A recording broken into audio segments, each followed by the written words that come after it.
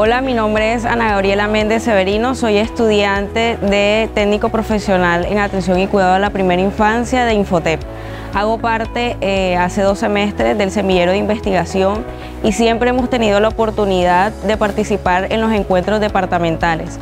En este caso se llevó a cabo en nuestra institución, en donde eh, participé con el proyecto de síntomas afectivos, burnout y engagement en estudiantes de nivel técnico donde tuve la oportunidad de pasar al encuentro nacional e internacional que se va a llevar a cabo en octubre de Cartagena. Actualmente me encuentro en el semillero de investigación con mi propuesta de proyecto que es una, implementación de página web para el desempeño de los docentes a nivel universitario. Nuestra experiencia en la departamental fue una experiencia muy agradable, ya que conocimos muchos proyectos aparte del de nosotros.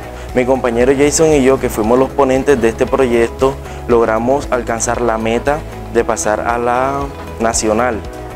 Gracias a esto, junto con los profesores que nos fueron guiando durante todo este proceso y el Infotec, que siempre hemos tenido un gran apoyo de ellos en esto del semillero de investigación. Mi proyecto se llama Implementación de una aplicación web para registro y control de asistencia de estudiantes de esta IES Infotep haciendo uso de tecnologías disruptivas. Mis expectativas son poder encontrar nuevos proyectos más avanzados, encontrar nuevas ideas, personas, contactos y poder entablar esas relaciones que nos permitan adquirir nuevos conocimientos. Hago parte del semillero de investigación. Eh, gracias al Infotec que me, que me dio la oportunidad de hacer parte de esta hermosa labor, pasé a la nacional con mi propuesta de investigación que tiene como título Responsabilidad Social en el sector agroindustrial, que tiene como idea principal que las empresas en el sector agroindustrial eh, resuelvan problemáticas ya sea en el nivel eh, económico, social y ambiental.